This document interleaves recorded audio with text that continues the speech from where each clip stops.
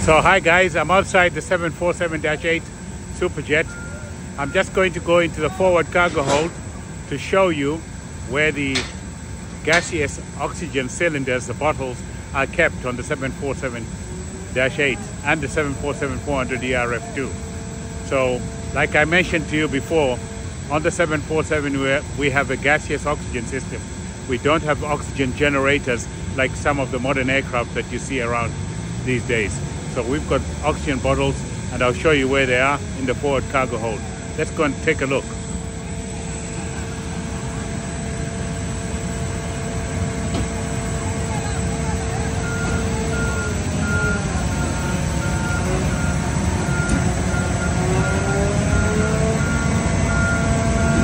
I've got to be quick as they're loading quite a bit of cargo here.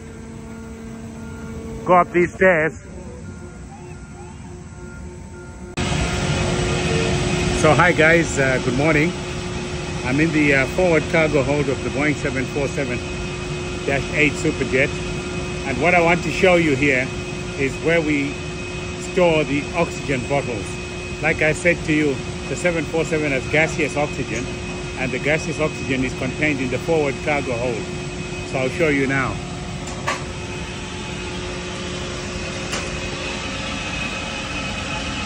So as you can see here,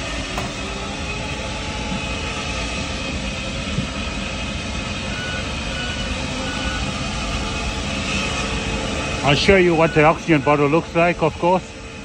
There it is. The valve on the top.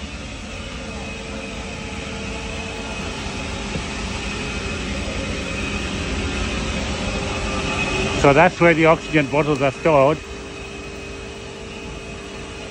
Just put the uh, latches back on.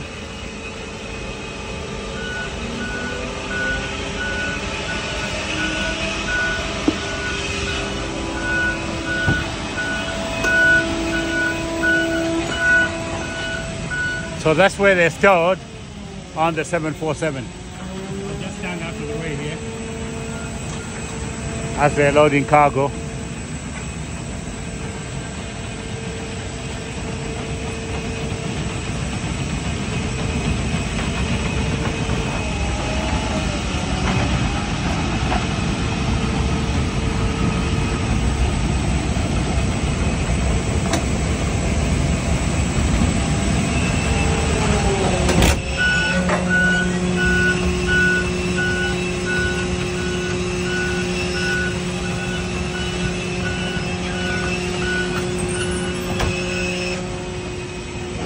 So the cargo is in place.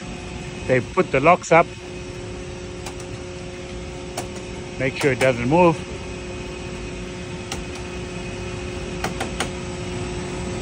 Now the lock. And that pallet is now secure. So I'll get off here and uh, I wanted to show you the oxygen bottle located in there. Okay then, later. So guys, as part of the external walk-around inspection, as the pilots will always check this.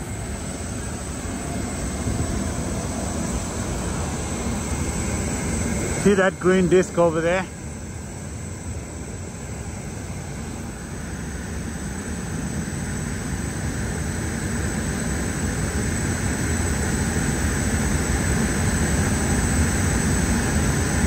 That green disc there.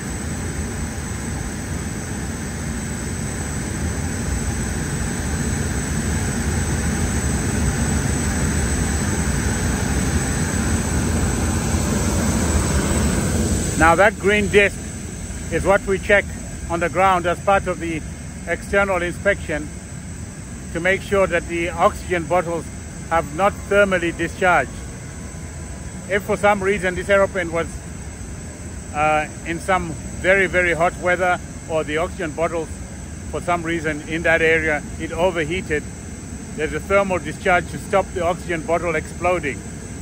And what we do before dispatch is we make sure that green disc is visible. If it isn't, then we know that one or, two, or more bottles have discharged their oxygen. as part of the inspection. Apart from that, inside the aeroplane, we've got pressure indication for the oxygen system anyway. But uh, this is part of it to make sure. On the Dash 8, let's go back to Hong Kong. So guys, and then when you come, when we come on board, how do we check the, oxygen cylinder pressures? It's on the lower EICAS, I'll show you here. So the minimum we accept is 1400 and 1400 on this aircraft. So that's the oxygen once we get on board that we check prior to our departure pass the oxygen test that you've already seen. So that's what's on board in the flight deck.